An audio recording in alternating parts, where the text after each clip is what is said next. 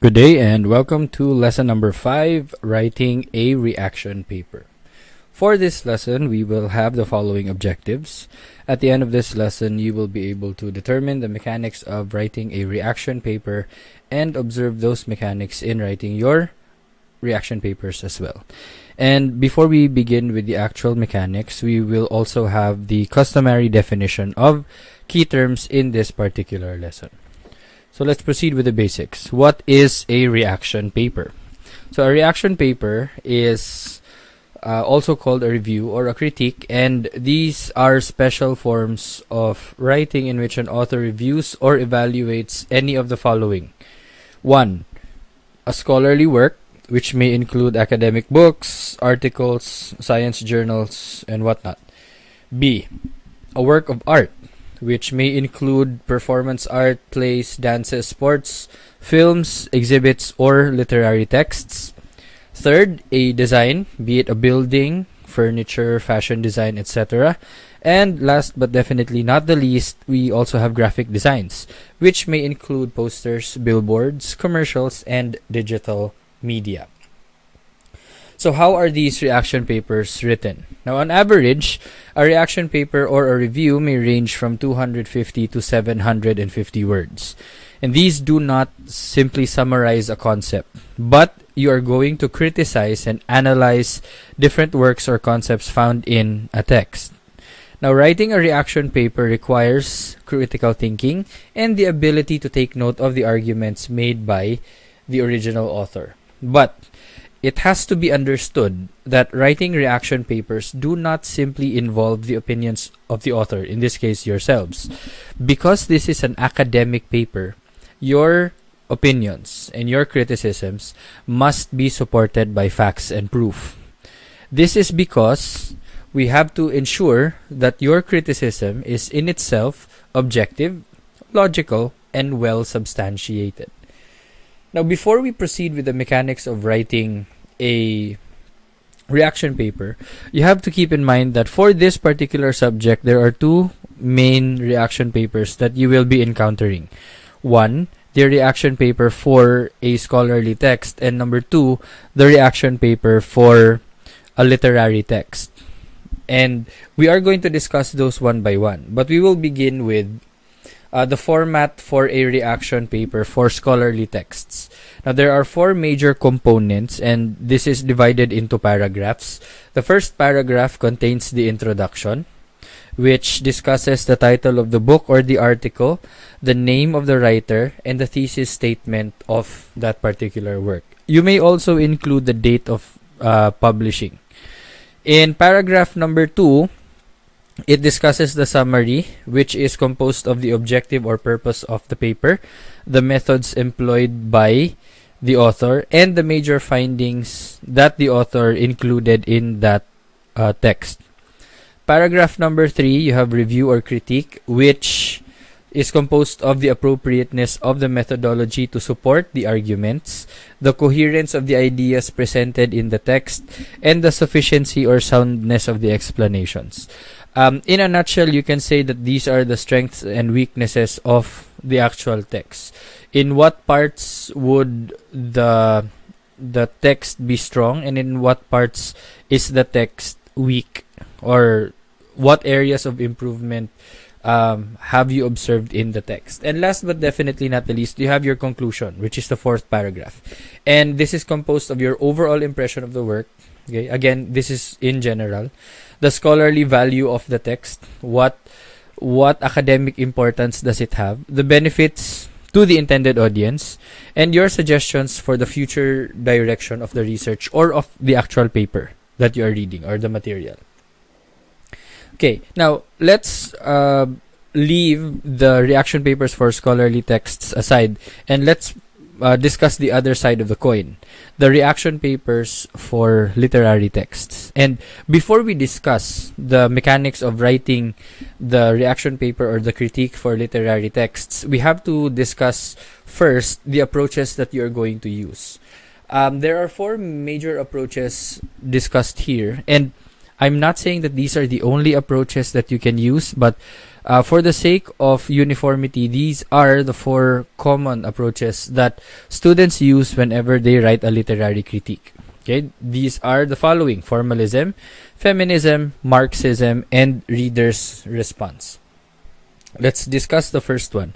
For formalism, this is a type of criticism which contains intrinsic properties or it focuses on the intrinsic properties of the text. This is because uh, formalism posits that the key to understanding a text is through the text itself. And this is the definition given by Barrot and Sipacio.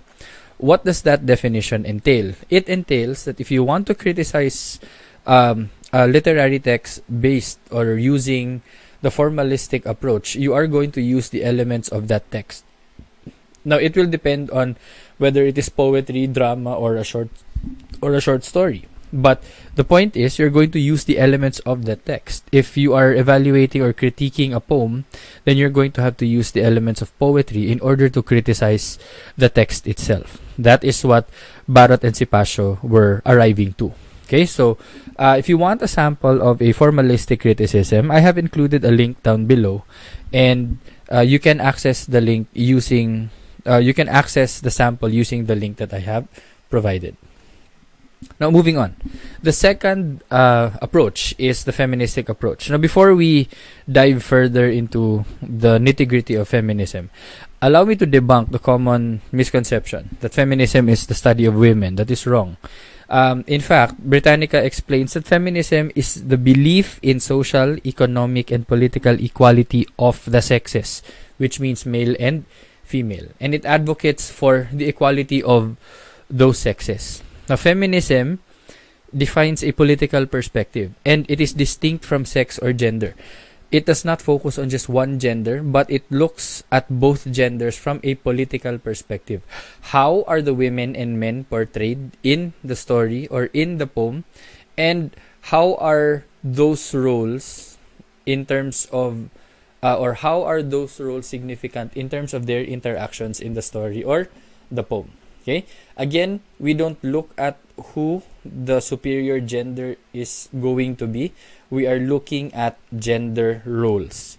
Uh, how are the women portrayed and how are the men portrayed in the story? From a political perspective. That is according to stanford in 2019 uh, if you want a sample a link is also provided for you to read through uh, an, a sample material now, for reader's response. Now, this is concerned with your reaction as an audience to a literary work.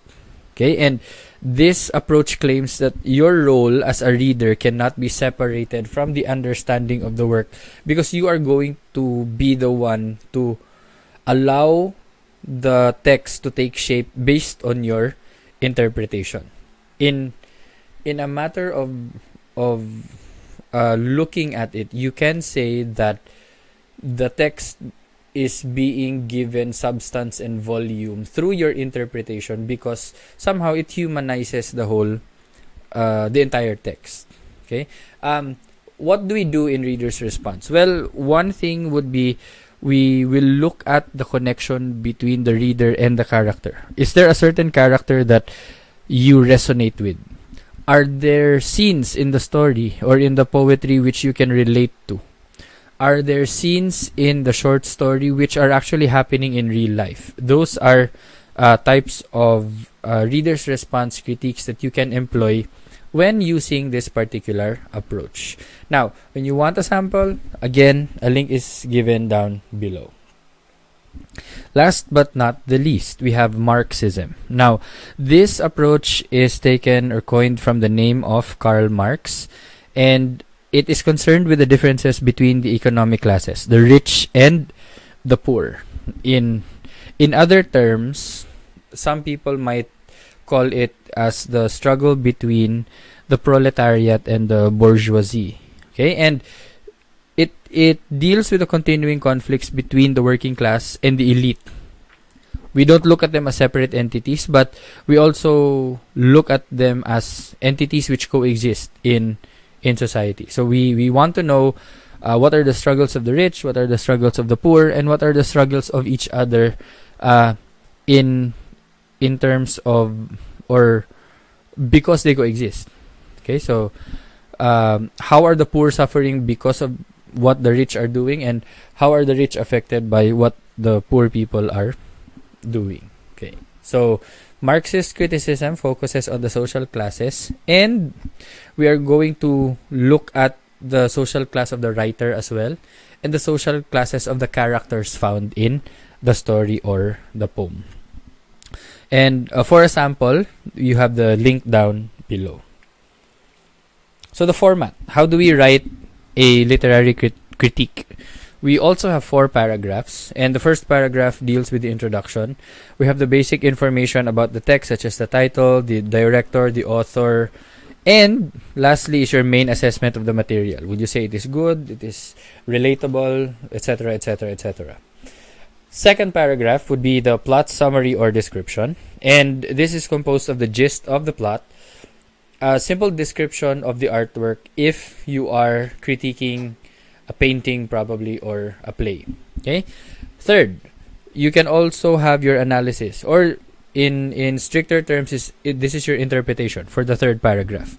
And your interpretation or analysis is based on the approach that you used or selected early on, be it formalism, feminism, Marxism, or reader's response. And last but not the least, you have your conclusion or evaluation. This is composed of the reinforcement of your main assessment, the evaluation or comparison of that text to similar works, and your recommendation for the material if applicable. Okay, now, since I love formulating outlines and organizing thoughts before writing the actual text. Um, this is just a suggested format for the outline that you might have for the reaction paper for scholarly texts. Okay, you may pause this video if you want to read through the outline. This one is the format for a reaction paper for a literary text. And again, if you want to if you want to read through the outline, you may pause this video as well.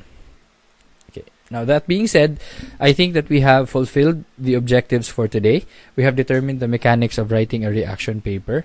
We have observed the mechanics of writing a reaction paper, and we have also discussed the definitions uh, of the key terms which are found in this lesson. And with that, that concludes our lesson for today. Again, this is Sir Dardar wishing everyone a great day ahead.